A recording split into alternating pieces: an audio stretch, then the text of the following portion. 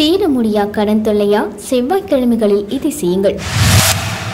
பொதுவா அஷ்டமியில் பைரவர விரதமிருந்து வழிபடுறது சிறப்பானது அப்படின்னா கூட அந்த அஷ்டமி தினம் வந்து செவ்வாய்க்கிழமையில வர்றது கூடுதல் சிறப்பு.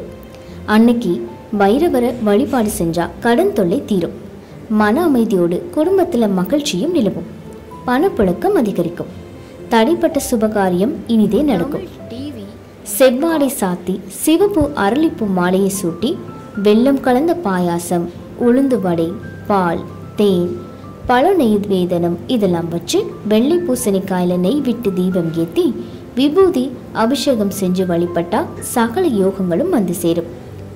இதே போல வெள்ளிக்கிழமையில வரக்கூடிய தேய்பிரை அஷ்டமரியும் பைரவருக்கு ரொம்ப உகந்த நாள். அன்னைக்கு பைரவரை வணங்குறதுனால லக்ஷ்மி கடாட்சம் பெருகும். எங்களுடைய நிகழ்ச்சிகள் உங்களுக்கு பிடித்திருந்தால் உடனுக்குடன் கண்டு மகிழ கீழே உள்ள சப்ஸ்கிரைப் பட்டனை அழுத்தவும். எங்களுடைய நிகழ்ச்சிகள் உங்களுக்கு மிகவும் பிடித்திருந்தால் உங்களுடைய நண்பர்களுக்கும் ஷேர் செய்யவும். நன்றி வணக்கம்.